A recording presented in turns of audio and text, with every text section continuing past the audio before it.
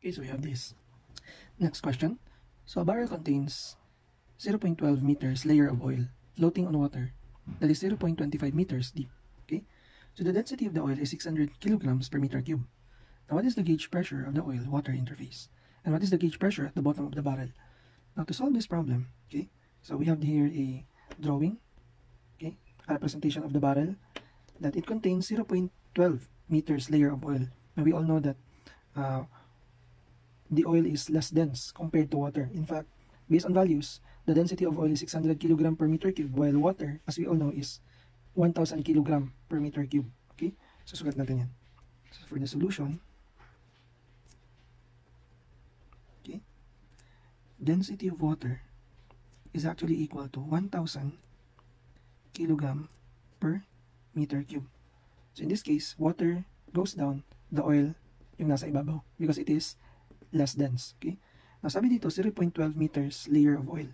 So, meaning, from here up to here, this is 0.12 meters. Okay? Now, and the water is 0.25 meters deep. Okay? From here up to here, this is 0.25 meters deep. Okay? Meters. Okay? So, what is the gauge pressure of the oil-water interface? Now, to solve this problem, itong letter A, gauge pressure yung hinahanap. Okay? So the gauge pressure, the formula for gauge pressure is actually okay, P gauge. The gauge pressure is equal to force divided by area. So kung napanood niyo yung mga previous videos natin, we actually stated there that pressure is just equal to the force divided by the area. And if you try to look at the given, wala kang makikita dito na force na naka-Newton. So let's derive the formula for the gauge pressure. Okay? We know that force is mass times gravity. So, magiging mass times gravity divided by the area.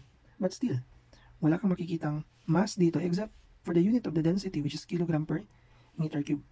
So, to solve for mass, using the density, okay? So, density is equal to mass over volume.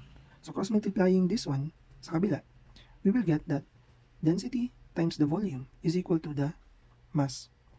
And we will substitute that here sa equation natin. Okay? So, substituting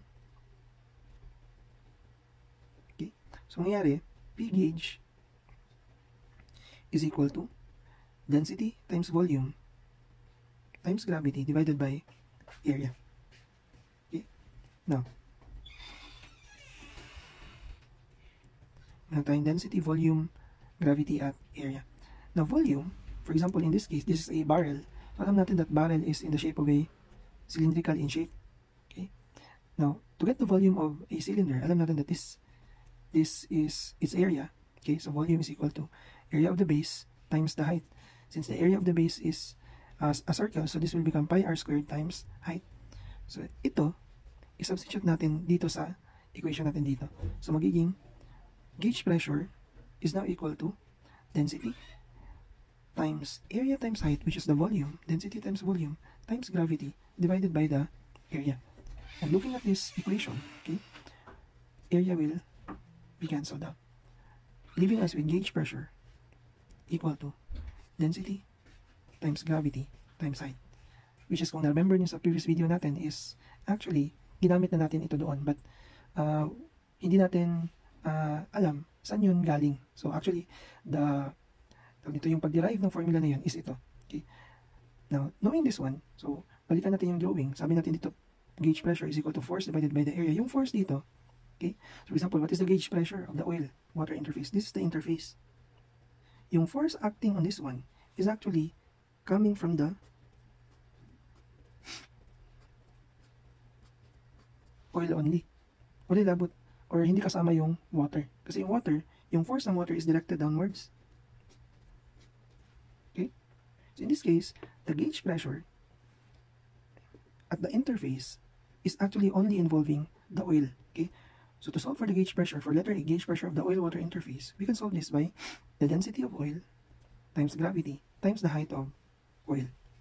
So this is, sabi sa problem, 600 kilogram per meter cube times the gravity which is which is 9.8 meters per second squared times the height ng oil which is 0.12 meters. So which gives us 600 times 9.8 times 0.12 meters. 705.6. Okay? 705.6. Now again, it's very important to be careful with the unit. Okay? So here, this one, yung kilogram meter per second squared, is actually equivalent to the unit of Newton.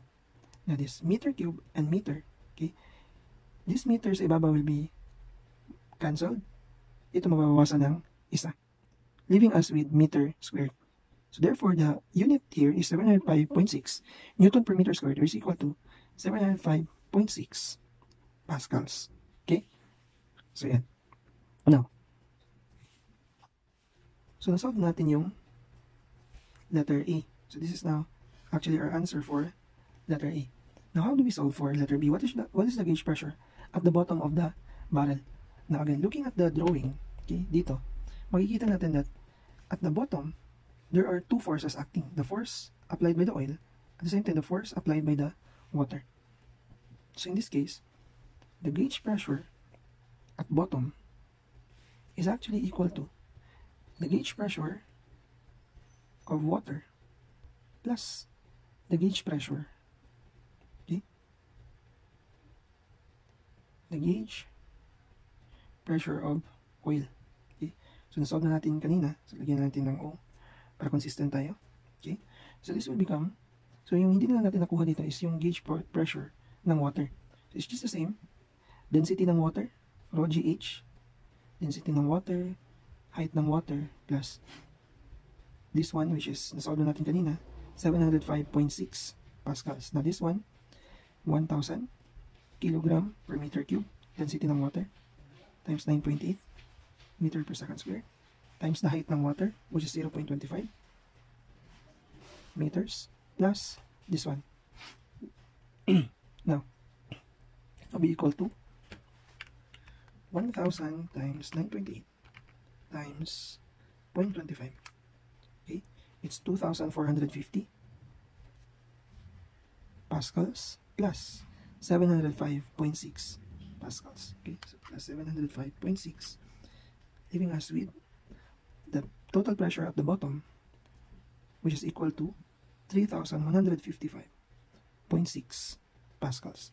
So this is now our answer for letter B. Okay?